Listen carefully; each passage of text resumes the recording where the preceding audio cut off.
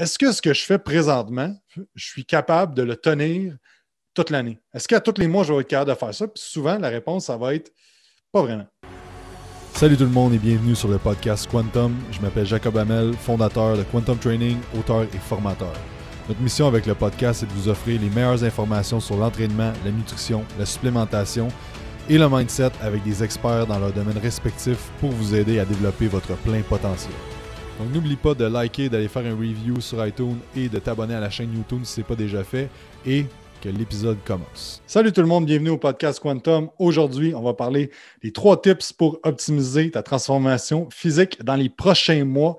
Avant de commencer euh, sur le sujet, je veux vous dire un grand merci pour euh, votre support, autant sur les réseaux sociaux que sur le podcast. Merci euh, d'aller faire des avis sur, sur iTunes, de liker. tous les trucs qu'on met, j'apprécie vraiment. Donc là, ce qui arrive, c'est que là, euh, au moment où je filme ça, on est le 18, de 18 janvier, pardon. Et euh, là, il y a beaucoup de monde que 1er janvier, 2, janvier se sont mis OK, là, on va, on va, faire des diètes, on va faire ça, on va faire ça, on va s'entraîner. Et là, ben, à ce moment-ci, il commence à avoir des gens qui perdent la motivation un peu. C'est ça qu'on va regarder. C'est quoi les trois facteurs qui vont faire en sorte que tu vas transformer ton physique sur le long terme? Parce que le but, ce n'est pas d'être en shape pendant un mois, c'est d'être en shape tout le restant de ta vie et d'être en santé aussi à travers tout ça. Donc, le premier tip, OK, c'est la constance. Donc, c'est sûr que c'est facile de se dire je vais aller vers une diète euh, low carb, je vais aller vers une diète où je coupe certains macronutriments, euh, je vais aller faire une diète euh, hypocalorique, je vais faire 8 heures de cardio par semaine, je vais m'entraîner 6 fois semaine, toutes ces affaires-là. Mais il faut que tu te demandes est-ce que ce que je fais présentement, je suis capable de le tenir toute l'année? Est-ce qu'à tous les mois, je vais être capable de faire ça? Puis souvent, la réponse, ça va être pas vraiment. Donc, est-ce que ça se peut que si tu veux coter un petit peu plus, que tu sois un petit peu inconfortable face à ça, que tu as un petit peu moins de calories, puis tu as un petit peu faim d'une fois de temps en temps? Oui, mais de là d'aller dans quelque chose d'extrême, c'est là la problématique, puis c'est là que les gens euh, abandonnent. Après, en dedans de trois mois, tout le monde qui a commencé à s'entraîner va avoir 80% des gens qui vont avoir arrêté de s'entraîner, arrêté de bien manger. Pas, les, pas ceux qui nous écoutent nécessairement, parce que si vous nous écoutez, bien, vous êtes quand même passionné de fitness, mais ça peut vous donner des pistes de réflexion des fois sur des, décisions que vous prenez au niveau de euh, vos plans d'entraînement, plans nutritionnels et tout ça. Donc, ce qui arrive, c'est que on va dire que Eric, euh, Eric, il a, mangé un petit peu trop pendant le temps des fêtes. Il a bu un petit peu trop, puis c'est bien correct. Il a profité du temps des fêtes. Comme j'aime dire, c'est que ce qui est important, c'est entre le jour de l'an et Noël. Pas entre, le, Noël et le jour de l'an. C'est pas une semaine qui va tout changer si tu as fait ta job le reste de l'année. Donc, Eric, là, il se dit ben moi, je veux, euh, si j'ai peut-être un 20, 20, 30 livres à perdre, là, euh, go, en janvier, je me remets dedans. Fait que là, exemple, il fait une diète vraiment low carb, pas de pas de pain, pas de pâte, pas de patate, les, pas de pain. Je sais pas d'où ça vient cette affaire-là, ça n'a tellement pas rapport. Mais coupe tous les glucides. Euh, puis, dans le fond, fait euh, diète vraiment là, euh, protéines, un petit peu de lipides, des légumes, puis Ce qui va arriver, c'est qu'Eric va perdre, va se peser le, 10 janvier. Ça aura fait une semaine qu'il fait ça. Si maintenant j'ai perdu 10 livres, OK, d'attitude, il me juste 20 livres à perdre. Si va être en chef pour l'été, puis tout ça. La semaine d'après, il continue exactement la même affaire. Il s'entraîne 4, 5, 6 fois par semaine, fait du cardio, fait toutes ses affaires, mange hypocalorique, euh, low carbs, tout ça. Là, il arrive dans le fond, il se repèse, moins 4 livres. Ah, que ça ralentit un petit peu, mais en faire un peu plus. Couper un peu plus. Là, commence à couper au niveau des lipides.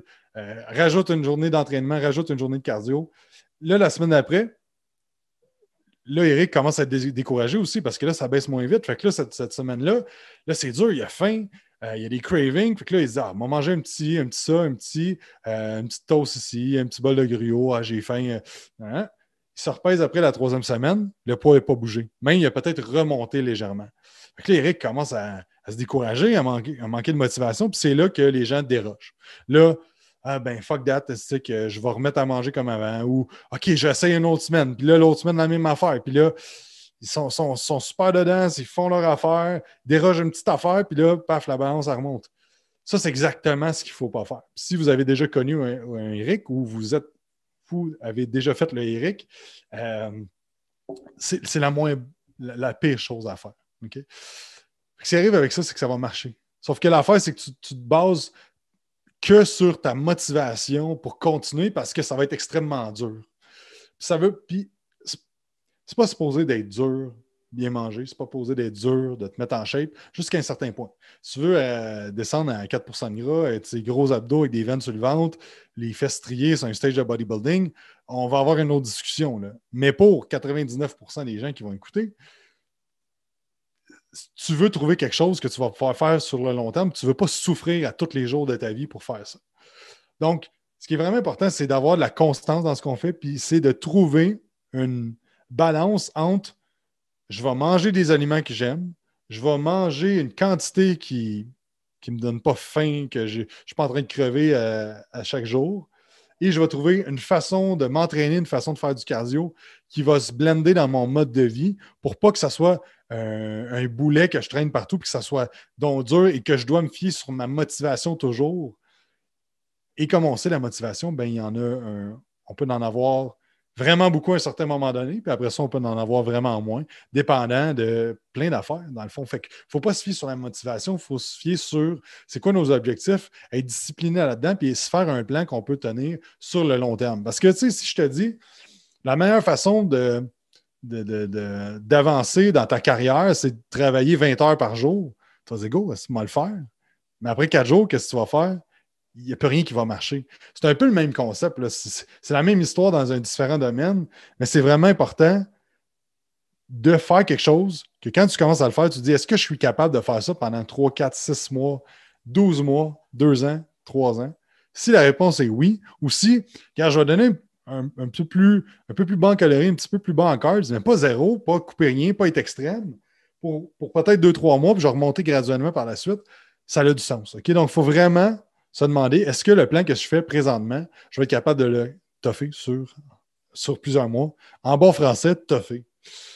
Le deuxième point, c'est de mettre beaucoup d'emphase sur l'environnement hormonal. Quand je parle de ça, je parle de stress, sommeil, digestion, mode de vie, tout ce qui englobe le système, en fait. Parce que être en shape, c'est un effet secondaire d'être en santé. Donc, si tous tes, tes systèmes fonctionnent bien, au niveau de tes hormones, au niveau de ta thyroïde, au niveau de ta gestion, au niveau de ta gestion stress, ton sommeil, tout ça.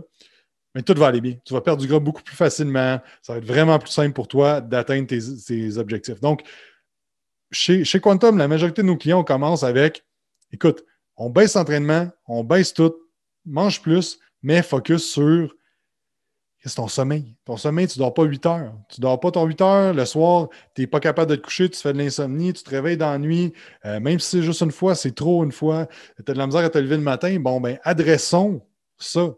Adressons ton stress. Si tu es stressé, la dernière chose que ton corps veut faire, c'est gagner de la masse musculaire et perdre du gras. Tu dois optimiser ta gestion de stress parce que le stress va toujours être là. Ce qui peut changer, c'est ta gestion de ce stress-là. Puis parfois, c'est aussi simple que faire cinq minutes de méditation le matin, prendre cinq grandes respirations avant de manger, lâcher la caféine, prendre juste un café le matin, pas à partir de midi, pas prendre de caféine. Il y a plein de choses que vous pouvez faire, mais c'est important de mettre le focus sur ces choses-là. Au niveau de la gestion, si tu es toujours ballonné, si tu as des gaz, si tu as des reflux gastriques, c'est toutes des choses que tu dois adresser parce que tu as beau couper tes calories, tu as beau faire ce que tu veux, ça ne changera rien si ça, ça ne fonctionne pas bien. Puis ça, je l'ai vu maintes et maintes fois. Ça fait 13 ans que je, coach du monde. Ça fait 13 ans que je vois les mêmes affaires. Les gens mangent hypocaloriques, font de l'entraînement, sont super sévères dans leur affaire, mais tout leur, environnement hormonal est, pas optimal et ça freine toujours l'atteinte de leur, objectif, euh, objectif. Pardon. Puis il y a des gens même qui vont gagner du gras en étant hypocaloriques, parce que tout le reste n'est pas optimal. Je ne dis pas que tu peux manger n'importe quoi si tu es optimal. Je dis juste que j'aime ça l'imaginer que c'est une voiture avec tes quatre pneus, tes quatre pneus pardon, puis tu as l'alimentation, la nutrition, l'environnement hormonal, puis, euh, mettons, on peut le mettre les deux roues en arrière, l'environnement hormonal. Euh, puis l'affaire, c'est que tu as, deux tailleurs de pétant en arrière. Fait que tu as beau mettre le gaz dans le fond sur ton entraînement, ta nutrition, il n'y a rien qui avance. Tu, vas, aller dans le beurre ou même si tu avances, ben, ça va faire plus de dégâts que d'autres choses. Donc, c'est vraiment important de prendre ça en considération. Le troisième point, c'est souvent, on n'en parle pas assez de ce point-là, mais c'est tellement puissant, c'est l'environnement. Euh, mais l'entourage, en fait, pas l'environnement, ça c'était mon autre point, mais l'entourage, les gens autour de toi. Euh, vous avez peut-être déjà entendu la phrase On est la somme des cinq personnes qui nous entourent. Donc, c'est sûr que si tu tiens avec des gens qui font le party, qui boivent l'alcool, qui mangent mal, ça va être plus dur pour toi. Par contre, ce qui arrive avec ça, c'est que je me rends compte qu'il y a beaucoup de monde qui se déresponsabilise à se dire ben moi, mon entourage, euh, c'est pas du monde qui mange bien, c'est pas du monde qui fait attention, c'est pas du monde qui s'entraîne. Fait que j'ai personne pour me motiver, j'ai personne pour m'aider là-dedans. Puis souvent, ben, justement, ils vont tout le temps blâmer leur échec sur Ah ben euh, ma femme à maison, c'est qu'elle a fait. Elle a fait de la tarte, puis je l'ai mangé, puis euh, tel, mon chum, il m'a apporté ci, puis mon ami, puis ma mère, puis blablabla. Fait que c'est vraiment important de comprendre que l'entourage a un impact vraiment grand sur vous. Ça, c'est important de le comprendre, parce que si tu n'as pas un entourage qui est propulsant, peu importe tes objectifs dans ta vie, c'est important que tu trouves certaines personnes. Euh, que ça, ce qui est vraiment merveilleux avec l'Internet, c'est que vous pouvez trouver des gens sur Internet qui vont vous propulser. Soit que ce soit des groupes Facebook ou des affaires en même, ou soit que ce soit que vous écoutez un podcast là, je suis votre entourage présentement parce que vous m'écoutez. Euh, puis il y a plein de podcasts, il y a plein de vidéos, il y a plein de contenus sur les réseaux sociaux que vous pouvez consommer qui vont nourrir votre esprit avec des bonnes choses. Donc, euh, donc ça, ça peut être un aspect de l'entourage. Puis sinon, une affaire que j'aime rajouter à tu es la somme des cinq personnes qui, t'entourent. Fais attention d'être la sixième personne du groupe dans lequel tu veux être. Donc, si toi, tu dis, moi, j'aimerais ça avoir du monde qui s'entraîne autour de moi, qui font attention à l'induction, tout ça, est-ce que toi, mettons, tu vises cinq personnes qui, qui sont vraiment dans le monde du fitness et tout ça? Toi, est-ce que tu es la sixième personne qui va intégrer ce groupe-là, que les autres aussi veulent que tu sois la cinquième personne de leur, cercle d'amis ou de, connaissances. C'est une, question à se demander, puis c'est là que de prendre responsabilité de t'améliorer pour pouvoir rencontrer ou avoir des gens autour de toi qui, soient, sont propulsants. Que, ce soit dans n'importe quelle sphère. Puis c'est pas parce que quelqu'un mange mal ou fait pas attention à 100% sur son entraînement, puis sa nutrition, tout ça, que c'est une mauvaise personne, au contraire. Mais euh, c'est juste que si tu sais que l'environnement, un l'entourage a un gros impact sur toi, ben, entoure-toi des gens qui sont, euh, qui sont propulsants dans tes oreilles euh, quand tu regardes, mais aussi au niveau de tes. Euh, deviens la personne. Deviens tout simplement. Puis c'est Gandhi qui dit Sois le changement que tu veux voir dans le monde. Change-toi, puis après ça, ça, ça va peut-être influencer les gens de ton entourage. Ça va peut-être, peut-être que le fait de perdre euh, je sais pas, moi, mettons, tu as 25 livres à perdre, de perdre 25 livres, peut-être que ta soeur va se dire Tabarnouche, c'est bien dormir motivant de voir ça, puis elle aussi, puis ça va faire un changement dans ton environnement, puis tout le monde va être sur la même longueur d'onde, puis ça part peut-être juste de toi. Donc, euh, soyez le changement que vous voulez voir dans ce monde. Et l'entourage, la dernière chose, euh, la dernière affaire, si tu veux t'entourer des gens, ben, c'est d'investir en toi avec ces gens-là. Que ce soit dans n'importe quelle sphère de ta vie, si tu veux t'entourer des gens qui sont vraiment à un autre niveau que toi, il va falloir que tu fasses des investissements.